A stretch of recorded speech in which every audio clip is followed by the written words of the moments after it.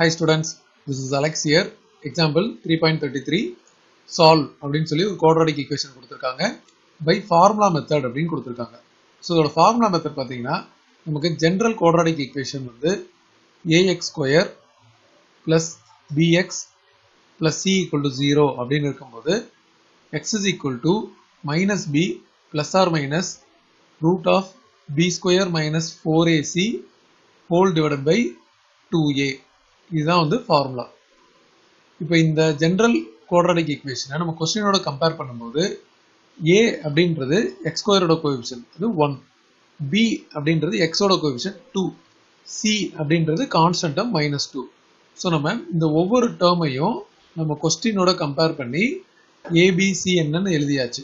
இப்போ இந்த ஃபார்முலாவில் சப்ஸ்டியூட் பண்ணோம் so X is equal to minus B அப்போ minus two plus or minus root of B square அப்படின்னா two square minus four A C whole divide by two A so இது வந்து two into one so வந்து நம்ம டேரெக்டாக substitute பண்ணிட்டோம்.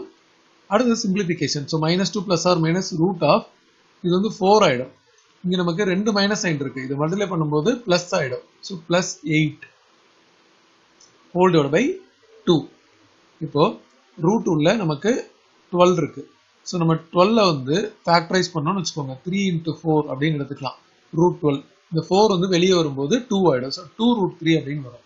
So நமக்கு வந்து இங்கே நியூமரேட்டரில் minus two plus or minus two root three by two அப்படின்னு போட்டுட்டு நம்ம எக்ஸ் எக்ஸோட வேல்யூ வந்து டூவை காமனாக எடுக்கும்போது minus one plus or minus root three by two அப்படின்னு வரும். ஸோ இந்த டூ டூ கேன்சல் பண்ணிடலாம். இப்போ அடுத்தது இந்த பிளஸ் ஆர் மைனஸை பிரிக்கணும். ஒன்று வந்து minus one plus root three இன்னொன்று வந்து minus one minus root three இதுதான் ரெண்டு எக்ஸோட வேல்யூ